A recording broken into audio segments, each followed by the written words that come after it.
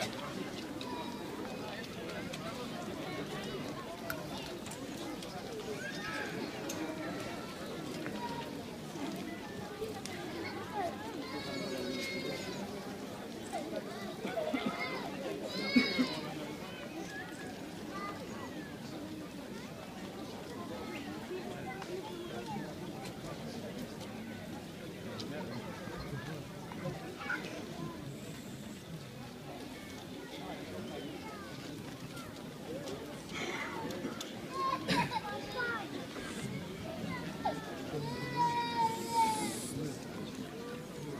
Ένα.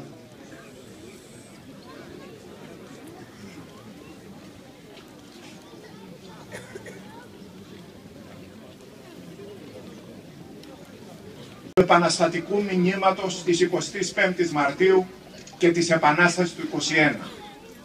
Μια λογική η οποία θέλει να αμβλύνει τη μνήμη των νεωτέρων, ε, κυρίως αυτών, και να ξεχαστεί η ιστορική μας συνέχεια.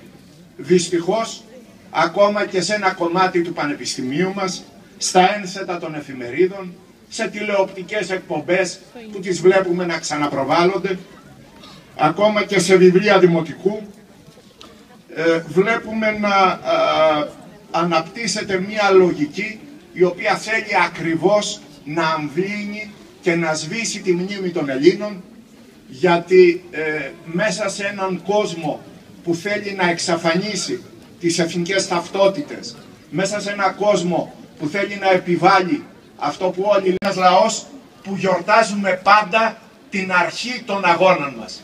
Δεν γιορτάζουμε ποτέ, θα δείτε οι Γάλλοι ή οι άλλοι ε, γιορτάζουν το τέλος των ε, εθνικών τους αγώνων.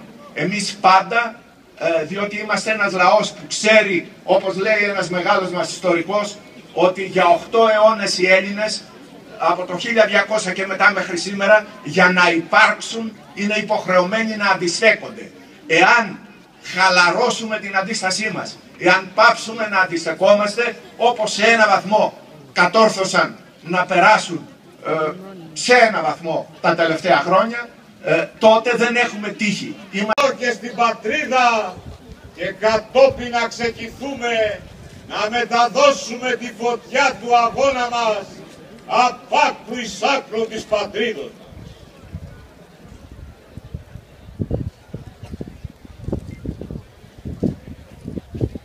Ορκιζόμαστε, Ορκιζόμαστε.